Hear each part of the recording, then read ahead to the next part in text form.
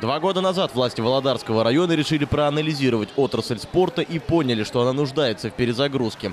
Так в районе появился проект «Спорт», который практически полностью совпал с целями, поставленными президентом Российской Федерации Владимиром Путиным в рамках проекта «Спорт. Норма жизни» нацпроекта «Демография».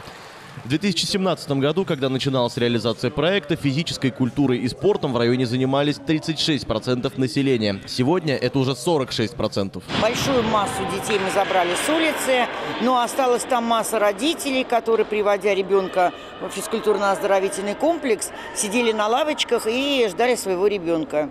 Естественно, а, эту массу людей, этого населения, так скажем, слои, мы начали также привлекать. А, прекрасное занятие в бассейне, в тренажерном зале.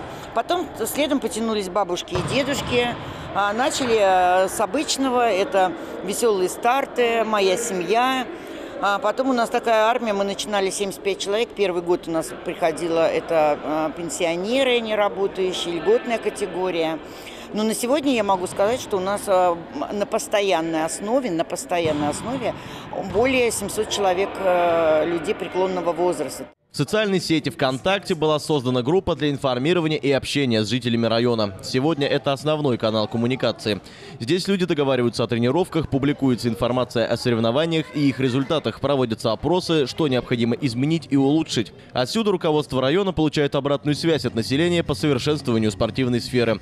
В итоге активное онлайн-общение выливается в такие ежедневные массовые тренировки в реальной жизни, где занимаются люди всех возрастов, от детсадовцев до пенсионеров. У нас поселок спортивной традиции поддерживают. С 90 годов, я с 95 -го года как играющим был, так тренером вот до сих пор играю.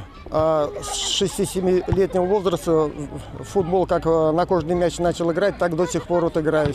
Семья спортивная, у меня племянник и сын тоже играет. 80% коллектива проекта – это люди-общественники. Это люди абсолютно разных профессий, и заводов, и правоохранительных э, органов, и люди-пенсионеры, которые э, свое время тратят на активный досуг, на занятия спортом. Они являются и кураторами данного направления. И в той же сети ВКонтакте проходят совещания, э, когда мы выбираем кураторов, и ребята поддерживают, э, то есть своим мнением. И нас становится больше, и сегодня наша группа ВКонтакте насчитывает активных э, полторы тысячи участников, которых э, по первому зову готовы прийти и поддержать любое наше Э, начинания. Через соцсеть находятся и спонсоры, которые помогают проводить соревнования, ремонтировать и строить спортивные объекты. Так уже в этом году ко дню физкультурника в Ильиногорске на средства инвестора появится воркаут-площадка.